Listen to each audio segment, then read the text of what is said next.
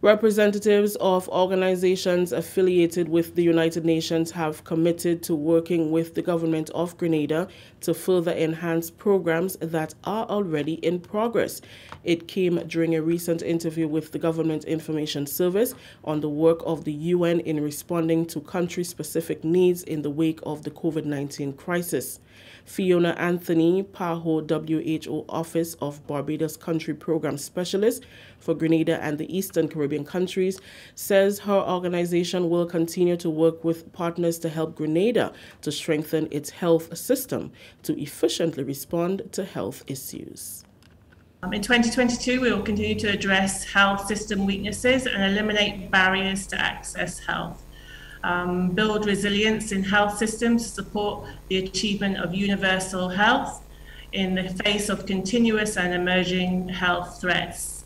We will support the country to recover from the impact of the pandemic and accelerate actions to get back on track towards the 2030 goals. Elaine Henry McQueen, Program Coordinator Spotlight Initiative, says they too intend to build and expand on initiatives that were delayed and in some cases came to a halt during the surge in COVID numbers. Another way in which we would um, be expanding would be um, uh,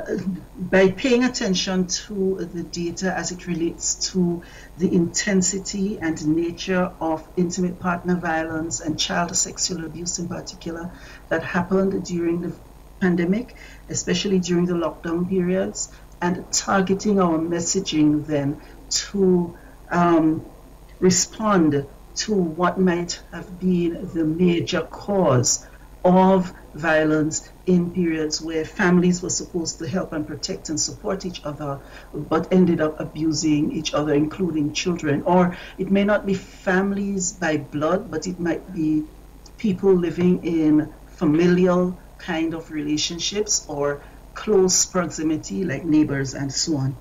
Aidan Photo, Sustainable Land Development Specialist with the United Nations Development Programme, UNDP, says they will continue to develop on initiatives already in motion. Plan is ongoing with a view of enhancing what we have